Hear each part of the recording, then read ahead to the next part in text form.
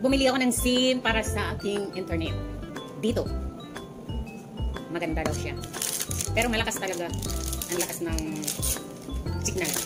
Maganda siya sa internet. Tapos unlimited text, unlimited call. Depende sa lugar na tatawagan mo. Pero sa akin, nakakatawag ako. Unlimited siya. Tapos 200 lang yung load mo. Good for one month. So maganda.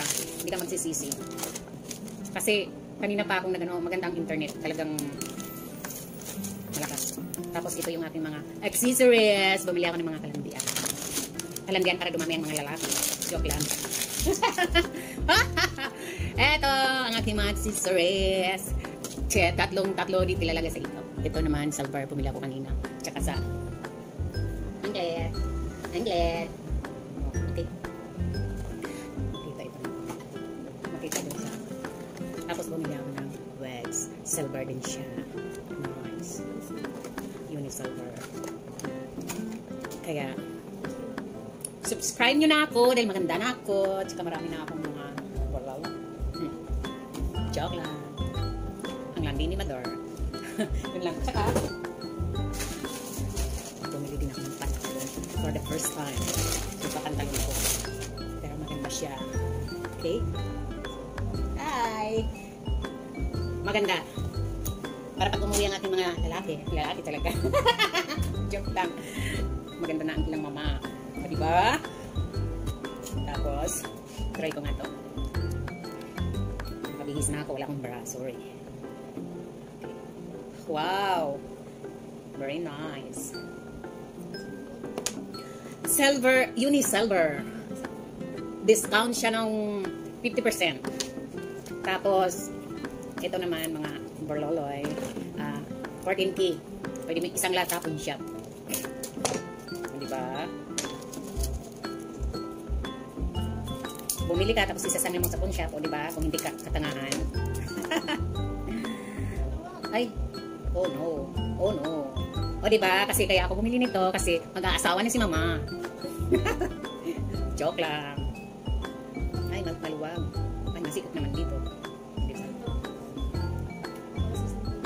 Kailan ang, ang, ang, ang tanit ng kuku. Tapos ito naman, 3. O, di ba? Dito. Chuk, chuk, chuk, chuk. Okay. Nice. Oh, may kinuha mo na yung sayo. Ah. Eh, nasaan na yung ano? Galing kami ng Robinson. Sa Hindi mo sinara, malakas ang hangin. Hindi. Alam mo Sige na, malakas ang hangin. O, di ba? Dali naman yung sara mo. Maganda. Hmm, di ba? Tapos, ikaw.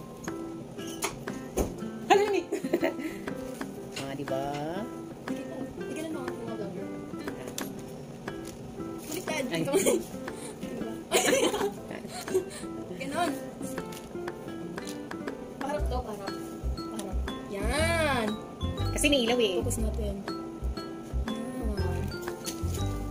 Another design. Another design. Uy, patay na.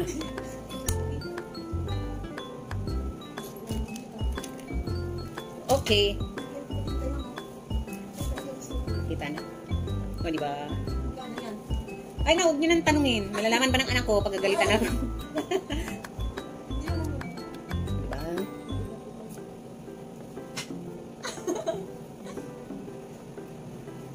Nice. At least wala na akong sa susunod wala na akong bibilhin kasi kompleto na. Ano? Mas mahal na. Ito na. Kaya nung, sabi ko nga kay Inday, bilhan mo ako ng sa susunod sabi ko ang bibilhin ko na yung mga pwede pang sangla.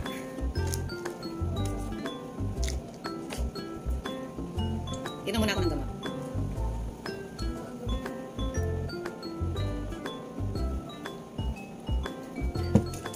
Okay. Bye-bye. See you later. Matutulog muna ako, tako'y napapagod.